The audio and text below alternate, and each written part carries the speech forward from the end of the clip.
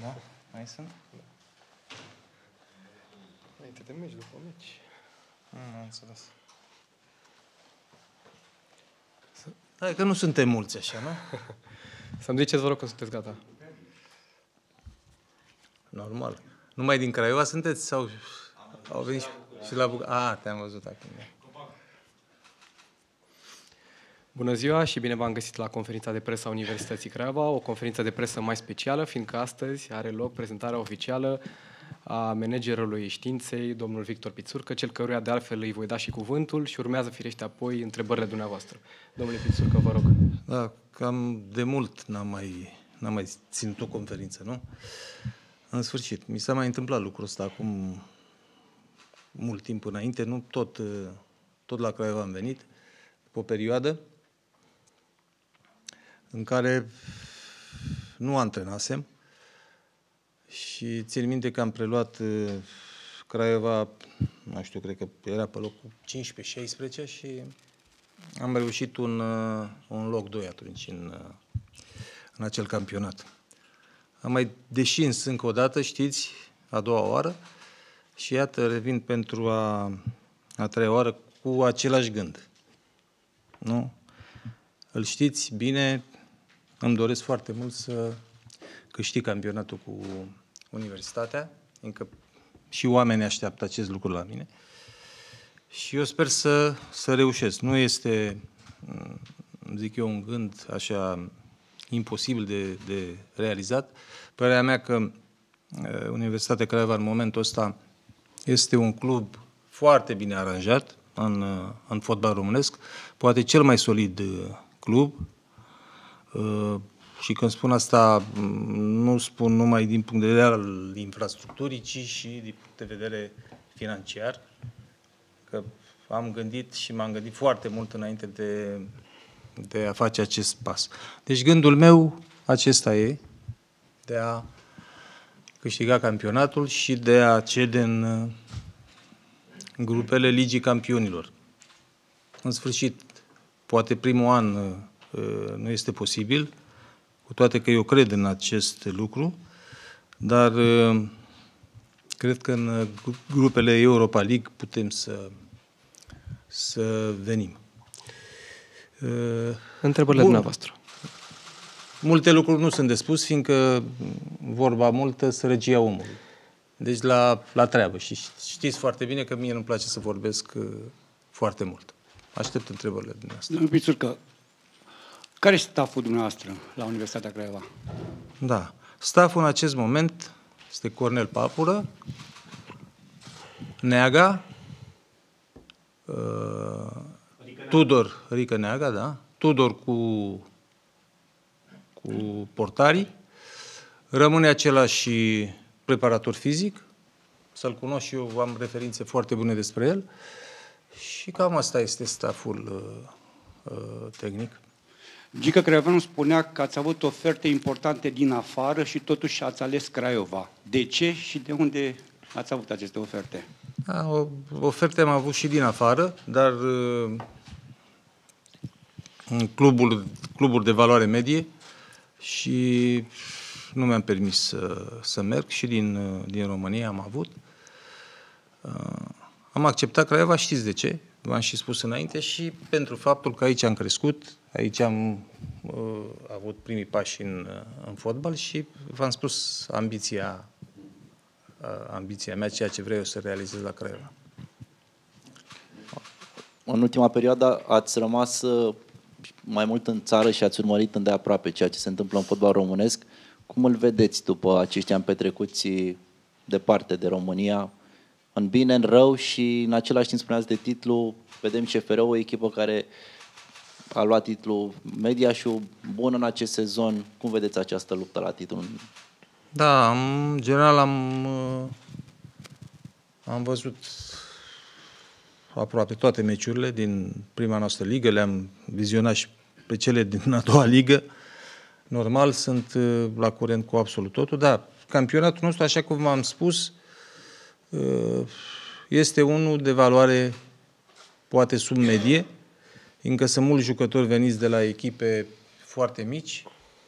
Uh, Asta e problema fotbalului nostru, sărăcia care este în fotbalul românesc, fiindcă nu ai bani, nu poți să aduci jucători. Văd că ușor, ușor acum a urcat puțin, parcă au venit jucători de, de valoare mai bună și se și vede, fiindcă au fost în ultimul timp, zic eu, partide bune, partide spectaculoase, se marchează goluri. Lumea nu mai vine la stadion și acesta fiind un motiv, fiindcă spectacolul nu mai este acela care era odată când erau echipe foarte bune, erau jucători foarte buni. Nu? FCSB-ul, în opinia noastră, este o amenințare pentru titlu? Dinamo, viitorul? Dinamo este un clumare, am spus-o tot timpul, văd că începe ușor, ușor să urce. FCSB-ul a câștigat un meci important acum cu, cu viitorul, ceea ce face să le dea aripi. CFR-ul, din punctul meu de vedere, rămâne cea mai bună echipă în momentul ăsta din fotbal românesc și sper ca Universitatea Craiova să vină ușor, ușor și ea să devină cea mai bună echipă din fotbal românesc. Când ați demarat tratativele cu Universitatea Craiova și, bineînțeles, ce părere aveți despre lutul actual? Da. Discuțiile cu Universitatea Craiova le-am avut acum două săptămâni. Ce s-a scris în presă a fost fals, că aș fi discutat de mult sau că aveam discuții cu Papură vis-a-vis de echipă. Nu. Cu Papură am avut discuții de 10 ani aproape în fiecare săptămână, de două, trei ori pe săptămână, discuții despre și numai de, despre fotbal. Așa am făcut și acum, dar vă imaginați că nu puteam eu să-i dau sugestii și nu i-am dat nimănui, nici lui Neagoe, nu... Încă una e să vii să lucrezi cu echipa zi de zi și una e să stai acasă să-ți dai cu părerea. E mai bun cu tare sau e mai bun celălalt. Nu. Deci, revenind la întrebarea ta, acum două săptămâni am avut discuție cu Mihai Rotaru și după câteva zile am și rezolvat, fără pretenții mari, Vreau să vă spun că am revenit nu cum am făcut odată, încă acum mă interesează foarte mult performanța. Deci nu mai mă interesează foarte mult partea financiară și de asemenea vreau să, să mai spun un lucru, că să scrie tot timpul că sunt Ferguson, că sunt, nu știu mai cine sunt comparat. Nu, nu sunt Ferguson, sunt Victor Pițurcă. Eu mă voi ocupa de partea fotbalistică. Atât. Nimic mai mult. A, sigur că tot ceea ce înseamnă partea fotbalistică, nu? De veniri, de plecări și așa mai departe. L-ați adus pentru că îl cunoașteți pe Alex Monțel, Ivan, jucător care a confirmat, un jucător de valoare poate pentru un restart. Am mai văzut un jucător care a semnat aseară. În mare parte, lotul este cel pe care vă veți baza, mai poate să mai plece, nu știu, să vă de porte și... În momentul ăsta nu mai pleacă nimeni și nu mi-am dorit să plece nimeni, fiindcă eu până nu mă conving și nu evaluez uh, jucătorii, uh, nu pot, uh, nu pot da drumul nimănui. Cu Fortes chiar am avut o discuție la telefon, de fapt m-a sunat el și am spus că va, va rămâne. Știu că mm, suporterii sunt puțin supărați pe el, deoarece a avut niște ocazii, dar îi se poate întâmpla oricui. Asta și fac un apel la ei ca să susțină echipa necondiționat și mm, orice jucător are probleme, ei trebuie să-l ajute. Nu? Ei trebuie să-l ajute și știu că pot face acest lucru foarte bine. Gică Creanu v-a propus un jucător din Spania. Este adevărat? În aceste zile mi-au fost propuși vreo 200 de jucători. Nu știu cât, câți am apucat să văd, dar vă spun sincer că câte șapte-opt pe zi am vizionat și Cornel Papură iar câte șapte-opt și alte persoane. Da, ne-am rezolvat în, în a lua acești trei jucători în momentul de față. Mi-aș mai fi dorit 1-2, Vom vedea dacă din ce a rămas liber de contract uh, mai putem aduce ceva la Craiova, dacă nu, uh, în iarnă ne vom gândi, așa cum v-am spus și după ce voi evalua valoarea și tuturor jucătorilor care sunt în lot acum. L-ați vrut și pe Cristi Manea? Uh, am avut o discuție, însă Cristi Manea știți că este jucătorul unei echipe din Cipru. El nu putea fi dat decât până în vară, împrumut, iar mie nu-mi convin uh, jucătorii împrumutați. Vreau ca jucătorii să fie ai Craiovei. Cristi Manea mea ca un copil, am vorbit de multe ori cu el, dar uh, deocamdată noi avem partea dreaptă asigurată. Cu Gică Popescu și Gică Haci ați vorbit pentru Ghiță și Boboc? Nu, n-am avut uh, discuții pentru niciun jucător de la, de la viitorul. Deocamdată, poate în viitorul apropiat. Deocamdată nu.